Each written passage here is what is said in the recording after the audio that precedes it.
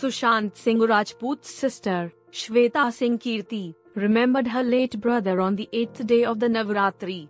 She shared a photo of the actor and penned a note. She wrote that people are proud of Sushant and she prays for the truth behind his death to come out soon. Sushant Singh Rajput was found dead at his Mumbai home on June 14, 2020. Today, October 13th, on the eighth day of the auspicious Navratri, his sister, Shweta Singh Kirti, shared a throwback photo of the late actor. Dot she wrote, You were, you are and you will always be our pride. Look how much love you have stirred in every heart. They have been relentlessly fighting for you. I pray to Ma Durga. Mother please let the truth come out. Please let our clamoring hearts find some peace. Hashtag Precious Sushant.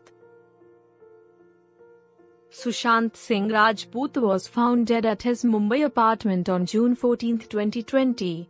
Mumbai police did the initial investigation and declared it a case of suicide.